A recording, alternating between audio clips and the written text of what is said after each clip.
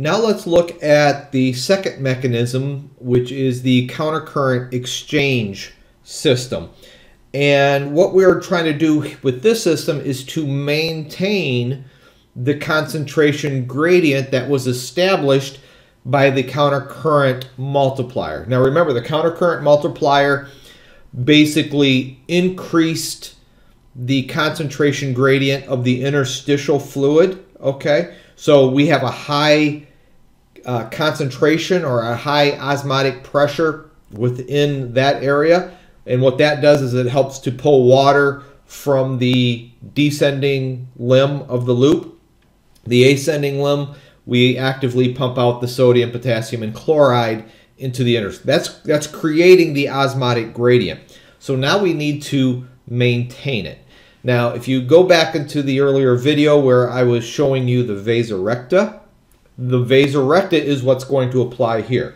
So if we look at this picture on here, um, the picture on the left, this is talking about the counter current multiplier. So you can see uh, the nephron loop in this area. Okay, so that's referring to the nephron loop. We're looking at the right picture.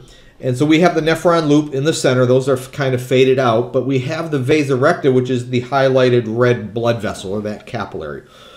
Countercurrent, just as with the other one, refers to the opposite flow. Okay, so in this case, the blood flow of these capillaries runs opposite of the flow of the filtrate in the tubular fluid.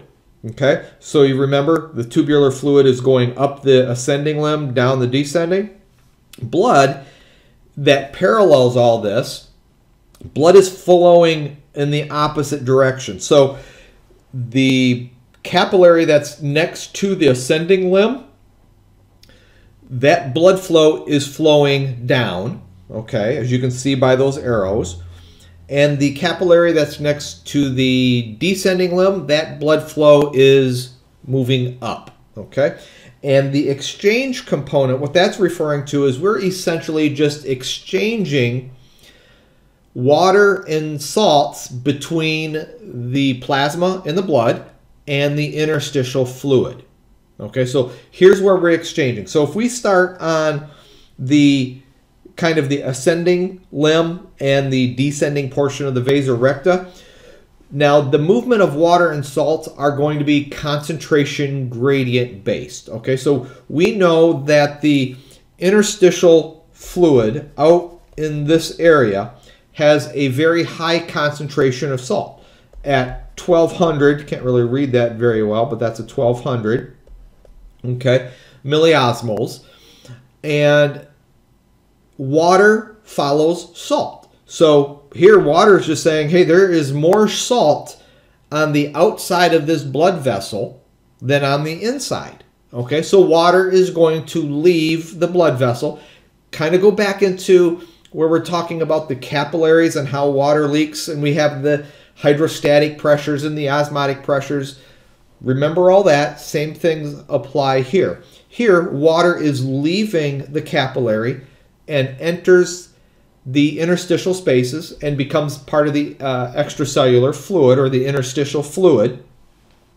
And because we have a high concentration of salt in the interstitial fluid and a lower concentration salt within the plasma, salt is moving into the blood vessel. So here we've got water coming out of the blood vessel, as it shows on this one, and salt going into the blood vessel. Okay. Now the blood vessel loops around. Now the vasa recta capillary is going to be going into the ascending portion of it. And we're just going to reverse this process. Because we've added a lot of salt on the right-hand side of this picture, now we have a lot of salt in the blood vessel, and we want to get uh, we want to get rid of it. So salt is going to be now coming out of the blood vessel while water's going in. So the water and salt are just reversed on each side. So if we're to split this down in two, on the ascending side, and by ascending I am referring to the loop of Henle, okay? So here we're losing water. Water comes out of the blood vessel, not the nephron loop. Water is coming out of the blood vessel. Salt is going in. On the ascending side, we are bringing water back into the blood vessel and pulling salt away. Now, this helps to maintain that osmotic pressure, which is necessary for antidiuretic hormone. The last thing I want to talk about is the third component of maintaining the concentration gradient of the interstitial fluid, and that's going to be urea recycling.